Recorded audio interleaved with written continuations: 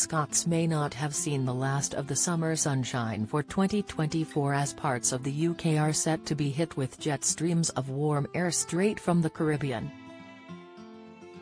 After a turbulent few weeks of ever-changing weather, autumn seemed to have finally settled in for good this week, with temperatures set to fall below freezing with lows of 1C in Scotland on Friday, September 27.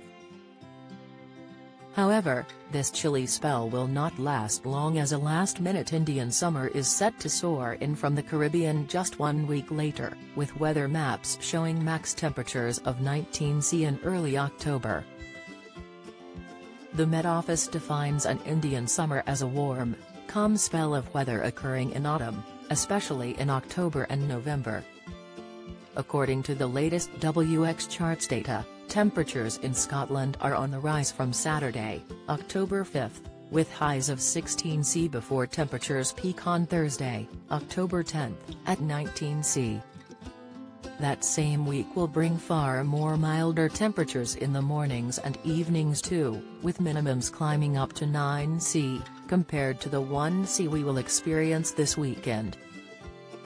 The BBC reports that temperatures for September have been well above the average for this time of year, with parts of Scotland and Northern Ireland seeing daytime temperatures that 5 to 8 degrees Celsius above normal. However, the Met Office doesn't appear to be too concerned about the rising temperatures, according to its long-range UK forecast, which spans from Sunday, September 29, to Tuesday, October 8.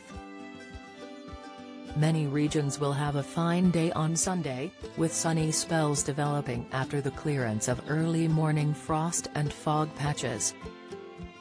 Later in the day, rain and strong winds are likely to arrive into the far west, then spread across many parts of the UK during the early part of next week, it said.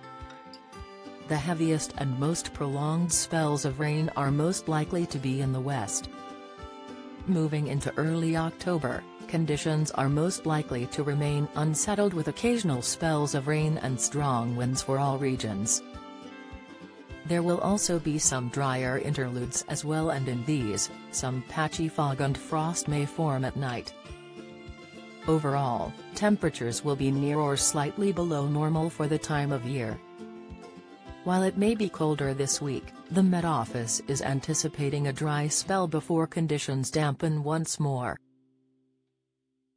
Met Office Chief Meteorologist Paul Gundersen said, the rainfall from Monday has now cleared away to leave a drier interlude for many, whilst some residual rain moves southwards across parts of Scotland. This drier spell will last until early Wednesday for most, before the next area of low pressure brings further rain later on Wednesday and into the latter part of the week. Don't miss the latest news from around Scotland and beyond, sign up to our